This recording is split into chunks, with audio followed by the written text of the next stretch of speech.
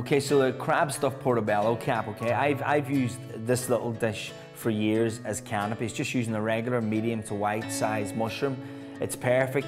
So if you're ever having anyone over for dinner, I'm using a little portobello here because I'm serving it more lunch style, pre-dinner appetizer. The uh, cherry pepper mayonnaise really, really kicks it off and I'm going to be using some, uh, some pea shoots that I grow here at the house. But uh, again, make it for a dinner or a lunch or as I say, put them into the smaller mushrooms and uh, perfect for a little canapé pre-dinner. Okay, so first thing we're going to do here is pan's already hot, in with some rapeseed oil, and we're going to just give a light little seasoning to each mushroom, okay?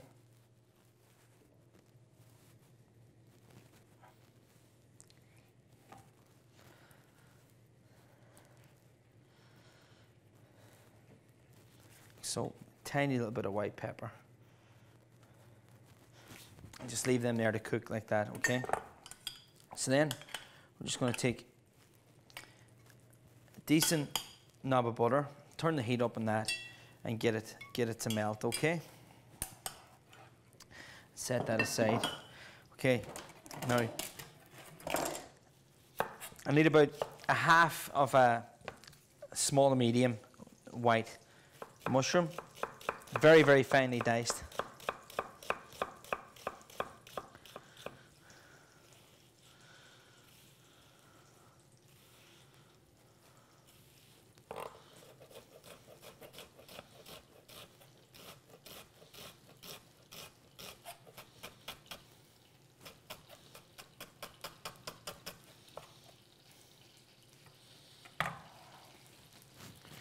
Just get that added to the to the butter. And that should do. The same then with about about a half of a half of a regular red bell pepper, okay? Very, very finely diced again.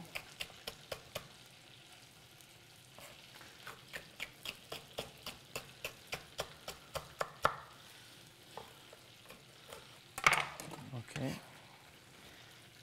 And with a red pepper. And then I'm going to take one of these cherry peppers, okay? These are lovely little Peppadew peppers. You get them in jars and, you know, Dunnes, SuperValu, Tesco. Most of the, most of the supermarkets have them, okay? They're sweet, but there's a tiny, tiny little bit of heat in there, okay? And that's exactly what, what I'm looking for, okay? Just that little aftertaste of, of heat. And then just for a little extra, I'm just gonna just use the cap. When it comes to these red chili flakes,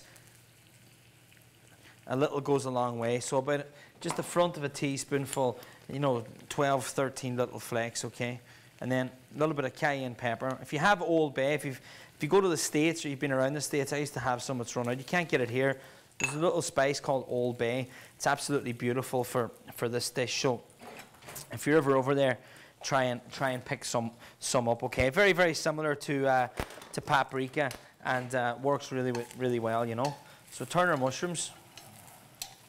Just starting to get a lovely little bit of colour on those already. That's exactly what I'm looking for. Okay. And then back to our uh, back to our stuffing base. Okay. So in with that, we're just going to sweat these without too much colour. Okay. So the onion, cherry pepper, and the red peppers working away just nicely there, okay? So that'll take us just to the crab meat then. Now the crab is already cooked. I'm just going to get a wee dish. And it's already cooked. You can buy the crab meat cooked. We, we boiled these and then picked out the meat. It's a bit of a, it's a bit of an arduous process. So, you know, if, if you get a nice high quality Irish crab meat, I recommend to get that. But the one thing you want to do is just, when you take it out of the packet, drain it and then just gently let it work its way through your fingers so that everything that's fallen onto the plate has come by your finger. What you're looking for is tiny little bits of shell. Now, whenever you get nice little lumps like that there, you don't want to break them up too much. So just let your fingers just rub gently over the outside of them, okay? So we're going to use about, generally about 100, about 200 grams of fresh crab meat, okay? Because I want the majority of the filling to be crab, okay? Now, the mushrooms are working away just nice there. But what I'm going to do is just going to add a tiny little bit of water.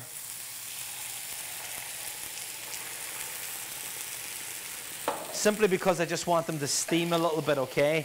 And just to soften, but I want that all that water to evaporate. So by the time the water is gone, the mushroom is going to be cooked all the way through, okay? Turn over. Just going to turn this down now to a gentle little simmer, okay? So the heat's turned down. And the next thing that's going in here then to our, our mixture is the crab meat, all right? The, the only thing really that's gone in here that's, that's raw is the onions and the chilies and pepper, okay? The crab meat is already cooked, as you know. So that goes in. Next thing then is just the bread to bind it, okay? So you don't need tons of bread because, as I say, I want the majority of this to be, to be about the crab and the crab filling, okay? So give it a good mix. And again, you want to keep it a little bit wet. You don't want it to over, overly dry.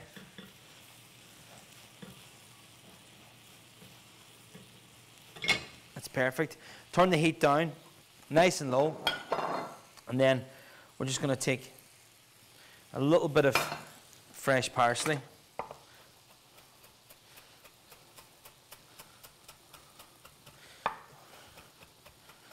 Chop this up nice and small.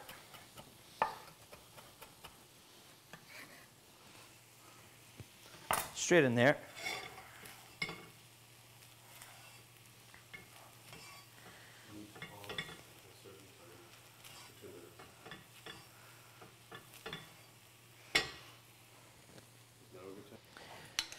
Okay, so mushrooms in, pretty much ready. Take them off nice and soft. They're cooked all the way through.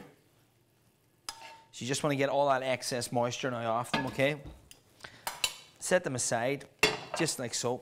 Knock that off. And now, just for a little bit of, a little bit of the mayonnaise, okay? So in with some cherry peppers, about four or five cherry peppers. A little bit of mayonnaise. Okay. And then drop that in the Thermomix or a food processor, whatever you have at home. Just give it a few seconds.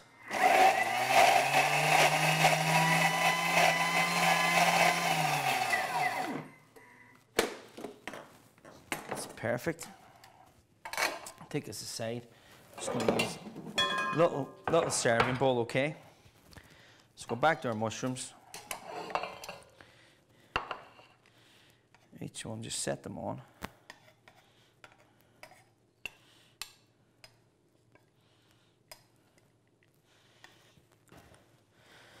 And back to our stuffing. So again, just like I said with the stuffing, it's just nice and moist, okay? You don't want it to get too dry, so just ease up on the, on the breadcrumbs, okay? Set them on like so.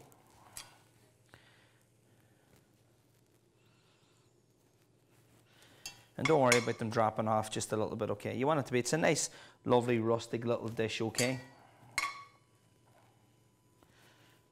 Oh, on like that. Give it a wee mix. Just go to our cherry pepper mayonnaise. We're going to serve this just lovely family style dish. Okay? Set that aside. And then just some lovely little pea shoots that I just have grown in trays in the house. Drop them on. Perfect for this. Couldn't be, couldn't be more simple. Beautiful little crab stuffed portobello mushrooms. There you have it. Beautiful.